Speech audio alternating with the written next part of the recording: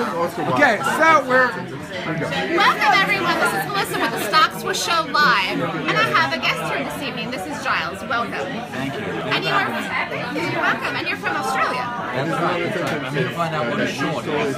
Yes, and as you know, many of you that are watching already live in Australia and are shorting stocks every every day. So it's so great to have a new Aussie here with me tonight.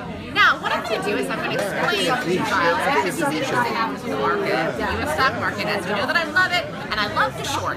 So we're going to talk about. We're, in a French restaurant. We're actually in France right now. As many of you know, I'm in France. But we have this knife, and I'm going to bet Here you go. Giles that the knife that So, looks yeah, like it's it looks about, like it's silver, but actually I'm gonna bet that this knife is actually gonna go down in value.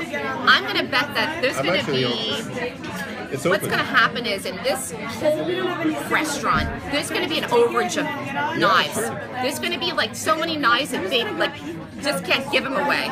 So then what happens is it was not open, sorry. he thinks that they're going to really want the knives. That there's going to be too many, like you can't even, you would really need the knives. Like all the people are going to order steaks. They're going to order the steaks and everyone's going to want a knife. And I'm saying, no, no, no, no. Nobody, nobody wants steak. We're in France. They want something light. They want to order cheese and chocolate mousse. So I, I know that. I know that about France and everything. So because I know that, I know they don't need the knives. So, so I think there's going to be. So you think this, it's going to be saturated with knives, too many knives, and I think it's going to be a gonna be or you think it's going to be scarce? No, I'm saying I think it's saturated. You think it's scarce. I'm yes. Okay. Exactly. Okay. So then what happens is we make the bet. So you're- you're we're actually betting of the sucking all my scarcity or whatever you want to call it. Now remember, we're Now I'm gonna referencing this in. in You have a in? correlation because I'm explaining what short is. So I'm actually this is anything. This What? is don't be like I know this it is was. anything This at is all. why It doesn't even her. This is matter. But the point. I'm trying to make is is- that we make it a bet. So let's like put the cost of the knife. I'm being The cost of the knife is what? What do you want to make it?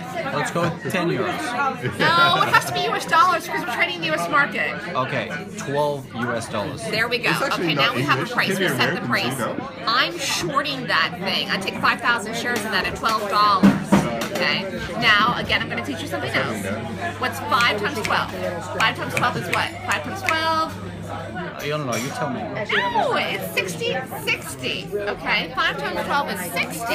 So if I took 5,000 shares of that at $12, I need $60,000 in buying power in my brokerage account to take that position.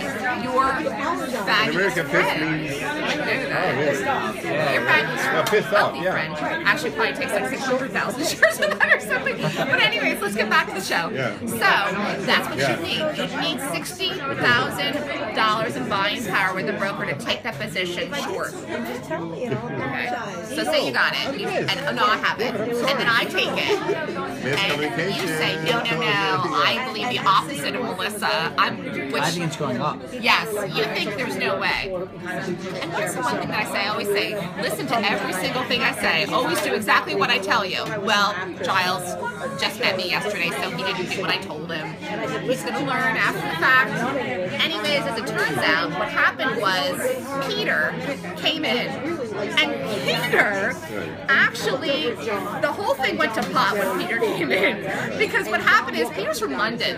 And you know what ends up happening is, like, Peter brought this mob of people from a company, a company that he works for, and they all ordered chocolate mousse and cheese. They stuffed the restaurant. So nobody that wanted steak could even come in. So the steak eaters who wanted the knives were standing outside in line. So as it turns out, Melissa was right. Her intuition, the 26 point Golden Gap rating system, told her that Peter was going to come with those people.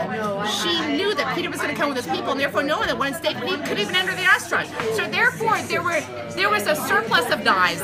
No one wanted the knives, and therefore Melissa ended up making money because of the fact that there was a surplus of the knives, and therefore, if you bet that direction, you got it right and you made money.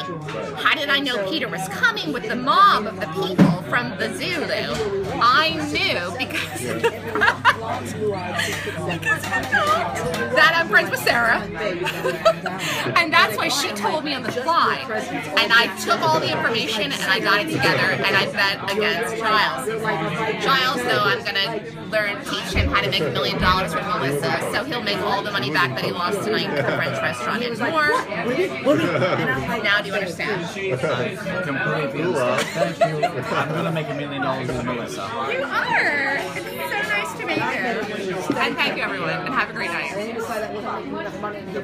Okay, I'm putting that on YouTube